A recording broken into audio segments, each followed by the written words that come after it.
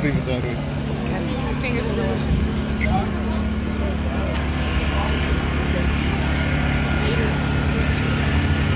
Amen. How's everyone doing today? We're blessed, right? We're blessed. We're blessed. You know why? The scripture says so. So a lot of times when we ask ourselves, we ask somebody, hey, how you doing? They base it upon whether they're feeling hungry, whether they're sweating, whether they're cold, whether they're hot. And, and those things fluctuate, those things change. So next time somebody asks you how you doing, just say, I'm blessed, because that's what scripture says. Because regardless of what's happening in our life, the Bible says that we are blessed.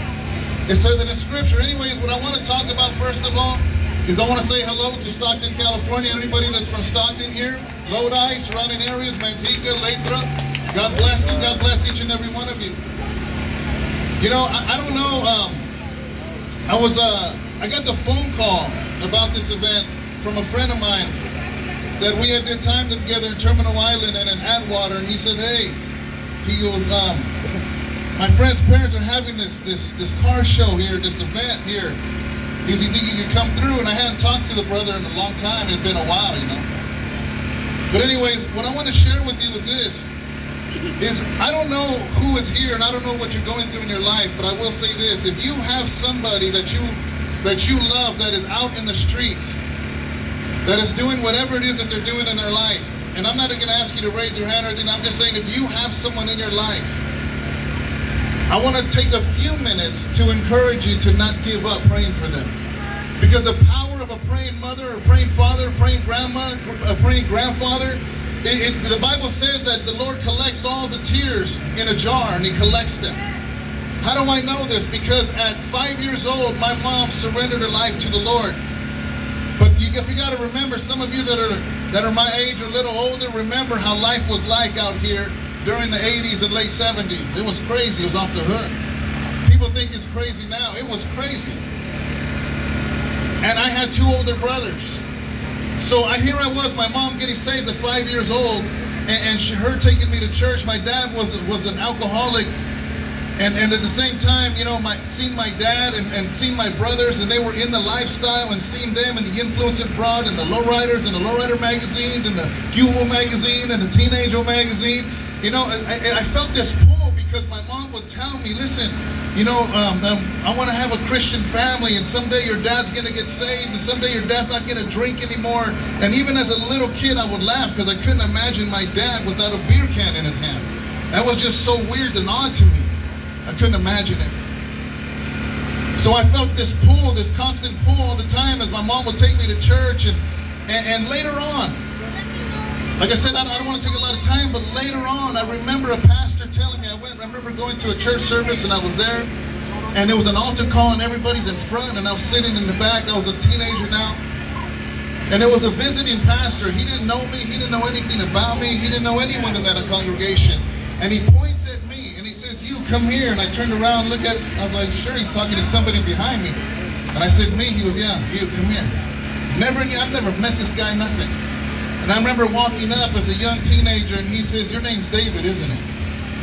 I got kind of scared, to be honest with you. I was like, How does this guy know my name? Because your name's David, right? I said, Yeah. He said, The Lord is going to use you. He goes, But I want you to tell you right now, don't forget this. You might forget my name, forget my face, that stuff doesn't matter. But I want to tell you this. You're going to reach an age where you are going, you're going to want to do what David wants to do and not what God wants you to do. He says, please promise me that when that day comes, you will remember not to do what David wants to do because David, the enemy, wants to destroy you because God has a huge plan for your life. And I, as a, as a young teenager, you know me, and I, I kind of put it in, I don't want to say one in one ear out the other because I'm talking about it now. So obviously it, it, it, it, it touched some part of me. But I continued to live my life and continue to do my thing. And I started gangbanging. I started rapping. I started releasing CDs and music all over the place, flying everywhere, doing concerts and car shows and autograph signings. And um, I belonged to a group called Darkroom Familia. And I went by the name of Sir Dyno. At that time, man, my, my family didn't know what to do with me. I remember I would go to, to uh, uh, go to dinner at my parents' house. And I would be uncomfortable because my pistol, and I'd just lay it right there on the table and eat dinner with my parents. This is a Christian family, Christian home. My dad got saved three years after my mom. And my mom used to always share this verse. She goes, As for me and my house, we shall serve the Lord. She will always tell me that. She would see me put a pistol. She knew I had a gun. She knew I was involved in stuff. And she would always tell me, this is the part where I want to tell you. If you have a loved one that's in that lifestyle, you need to speak life into them. You need to speak life no matter what the situation looks like, no matter what it looks like, no matter how, whatever is going on in their life, you need to speak into their life. I'll tell you, I'll tell you why.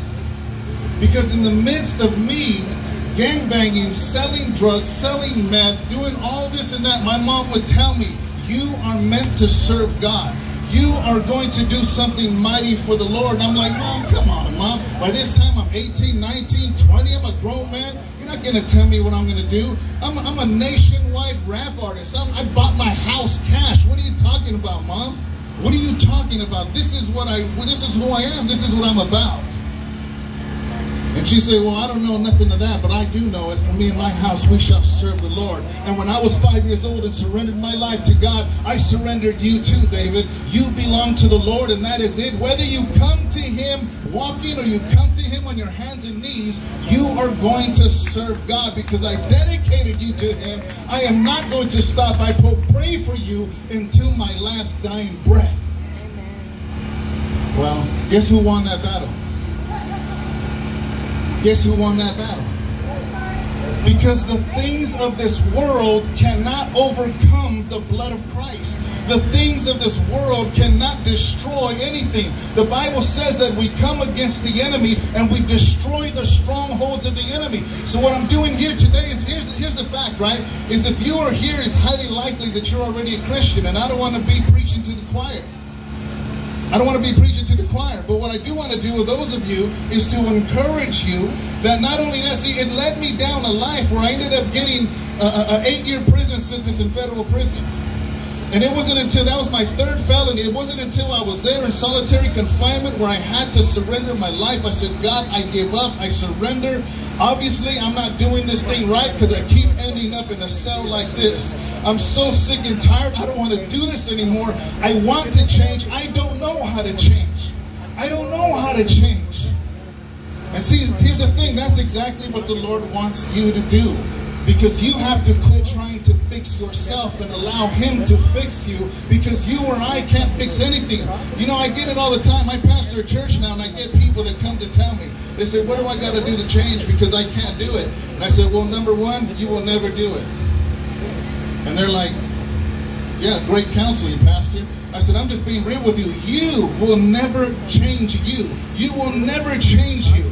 You know what you do when you try to do fix things in your life? That's called behavior modification. And you're still straight going to hell. You're just acting like you're good. That's all that means. You're changing your behavior. And I'm just like, Lord, I don't want to change my behavior. I don't care what people say on the outside. I need you to do a work inside of me. And that's what I did. When I was in that solitary confinement, I said, Lord God, here's the deal, Lord.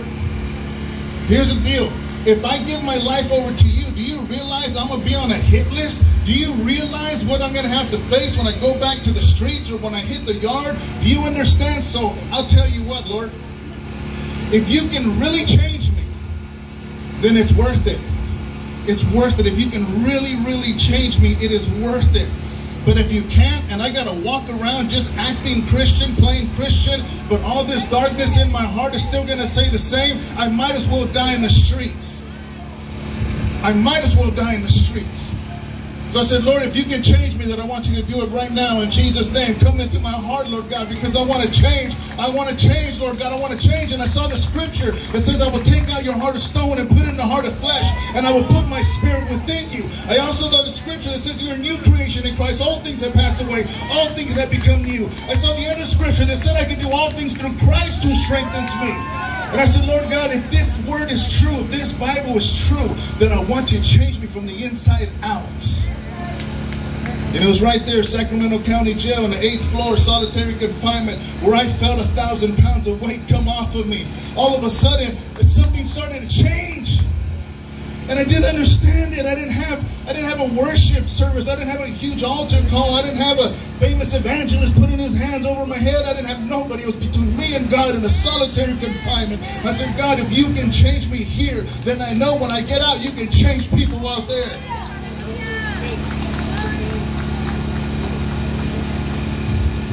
You know when um, it happened so fast, I, I, couldn't comprehend it. And, I want to share this. This is this is what. See, all of us are different, right? There's certain triggers in your life. There's certain things in your life that'll fire you up, that'll entice you, that'll whatever it is. Because the enemy knows what those things are, and you know what those things are. For me, because I was brainwashed growing up, I was brainwashed to believe that, that certain people were my enemy. I don't care if I saw him at a gas station, if I saw him at a Walmart, if I mattered, it was just on. It was green light right then and there. Nothing else mattered. And I just, it was weird because as a young kid, growing up in a neighborhood, I just knew I had to hate that person because of what they stood for. So here's the true test. I remember I got when I got saved in solitary, it was time for me to go to court. And I don't know if any of you have been to Sacramento County Jail, but they kind of split. The, the, the jail's in half, and the, the, the elevators are in the middle. So everybody that grew up where I grew up was on this side of the jail, and the other ones were on that side of the jail. But when it was time to go to court, they would bring us in chains, and we would go down the elevator. And this is crazy, right? This is crazy to me. Maybe to you it's not a big deal. But I remember they shackled us up, put the chains on their feet, all the way up to the waist, hands like this, and they were chained to everybody going to court. And I remember they opened the doors to the elevator, and I saw who was supposed to be my enemy, a whole line of them. This was a test for me. To you, it might not seem like it, but you know what? I felt no hate. I felt no anger. I felt no rage. I didn't feel no violence. I, I didn't, couldn't comprehend it. I didn't understand it. I'm like, Lord God, what you did is really real, Lord God. What you did is real, Lord God. I will serve you all the days of my life. I don't care if the world thinks I'm a fool. I will be a fool for you all the days of my life. That's why I am known now and I am convinced that Jesus Christ is the only one that can break the chains. He can break the chains of bondage. He can break the chains of alcohol. He can break the chains of adultery and, and sexual addiction. He's the only one that can break the chains of violence and gangs. He's the only one that can set you free. There is nothing else. No one else can set you free. So guys, I, I want to end with this. Is I want to say a prayer. And I wasn't planning on it, but I feel led to because I'll tell you what. I remember back in the day, I had two 12 inch woofers in my trunk with 500 watts. And I would put my, my windows down, I would just bump through neighborhoods. Bump songs that were about violence and killing and gangs. And I truly believe that those words go out into the atmosphere of the neighborhoods. Because the Bible says we don't fight against flesh and blood, but against principalities and high places. So every time we're driving around, bumping our music, we're putting that out into the atmosphere because the gods of this world love that stuff, right? Because, I mean, come on, just be real. Isn't there certain songs that would just rile you up in a certain kind of way? So in the same way, I feel led to pray because the speakers are outside right now and this stuff is going out into the atmosphere. And the Bible says that we don't fight against flesh and blood, but against principalities in high places. And it's time that we start to take ground because the Bible says that the gates of hell will not prevail against the church. What does that mean? It means that the enemy is on the defense and we are the ones on the offense pushing. So if I could just end this in prayer, and we're going to pray for Stockton. Lord God, I thank you, Lord, in Jesus' mighty name, Lord, that anytime, Lord God, things are thrown out into the air, we cancel all those things in the name of Jesus Christ. We pray for the city and the surrounding areas in the blood of Jesus Christ, because your blood is stronger than all things, Lord. Your, your blood breaks the back of the sins of this nation, this state, and this city.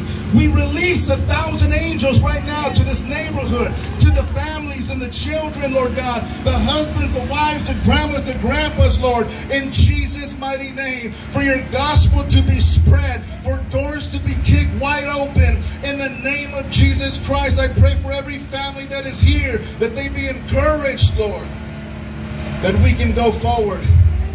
Because this, it, it, it, it's, it's not a quick race, it's a marathon. And I thank you, Lord, in Jesus' mighty name. Amen. Amen. I just want to thank you guys. God bless you. If you did were to my music, please, I have a booth over there. Just come introduce yourself. Oh, one more thing. If you have a loved one that's in prison, our church sends out our, my transcripted sermons, whatever I preach on Sunday, they're typed and we send them free to inmates. So if you have somebody like that, a loved one, please visit our booth over there where the paintings are at. It's a painting of Selena that I did. Go over there and give us the address and we will send them a sermon.